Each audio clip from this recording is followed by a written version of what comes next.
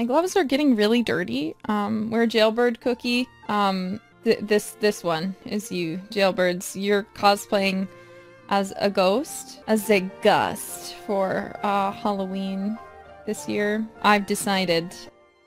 So, um, speaking of, what is everyone for Halloween this year? I think I mentioned this to you, but Anne Risa is coming over to visit for about a week and she's bringing all her darling beloved uh, angelic cherub children with her. So um, that's gonna be fun. uh, I'm actually gonna get to take them trick-or-treating for a little bit, so that's exciting because I don't get to see them very often. Um, oh, Nerisa, yes, my eldest sister. Okay.